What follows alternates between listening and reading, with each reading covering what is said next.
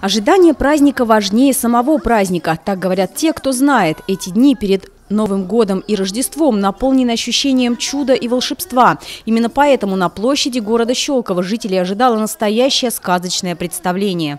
Ощущение праздника есть у тебя? Есть. А что такое ощущение праздника? Ощущение праздника – это когда тебе весело, когда ты веселишься вместе и тебе радостно.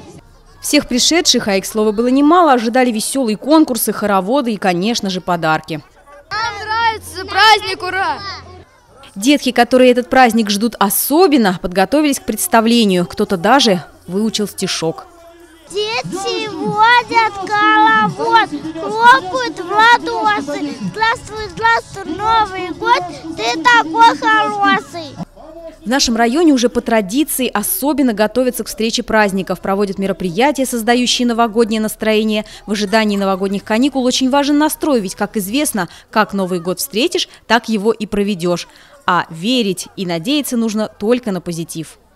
Поздравляю город с Новым годом, чтобы все было хорошо, много любви, счастья и здоровья.